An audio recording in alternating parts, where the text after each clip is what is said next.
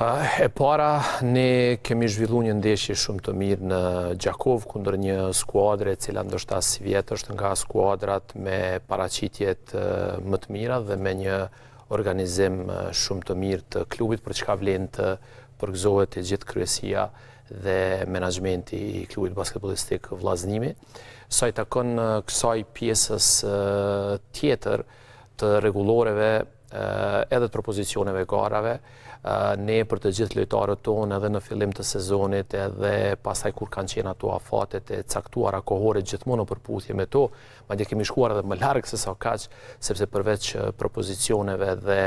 rregullores për regjistrim dhe kalim të lojtarëve gjatë edicionit 2022-2023, ashtu siç titullohet kjo rregullore, edhe ligje tjera që rregullojnë këtë çështje, deri te Kushtetuta e Kosovës se si rregullohen çështjet e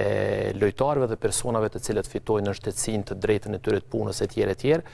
dhe ne edhe pse i kemi pas faktet dhe argumentet në anën tonë prapëseprapë nuk kemi nxituar dhe i jemi drejtuar komisionit të garave me gjitha faktet në dispozicion, sidomos duke u bazuar pikërisht në këtë nen të rregullores, po po ashtu edhe Nenet tetëmbëdhjetë pikë një pikë një, tetëmbëdhjetë pikë një pikë dy dhe tetëmbëdhjetë pikë një pikë tre të propozicioneve të garave, të cilat i rregullojnë këto çështje. Prandaj ne nuk kemi bërë asgjë kokë më vete, edhe pse po them që i kemi pasur faktet dhe i kemi gjetur duke i shfrytëzuar të gjitha pra këto nene të rregulloreve, të propozicioneve të garave, po dhe të ligjeve të tjera në fuqi në Republikën e Kosovës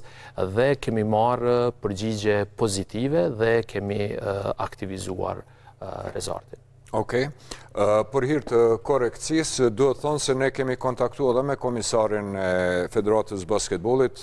Faton Kurshumliun, i cili ishte në udhëtim zyrtar paradite, dhe duke u marrë edhe me organizimin çështjen organizative pikërisht të ndeshjes të cilën Sigal Prishtina do ta zhvillojë me Shçeçinin në kuadër të play-off-it të Ligës Evropës së Veriut dhe ai na ka drejtu te komisioni i garave, kemi dërguar email, përgjigje ende nuk kemi marrë, gjithsesi se do ta trajtojmë këtë temë dhe do të shohim cila do të jetë përgjigja e komisionit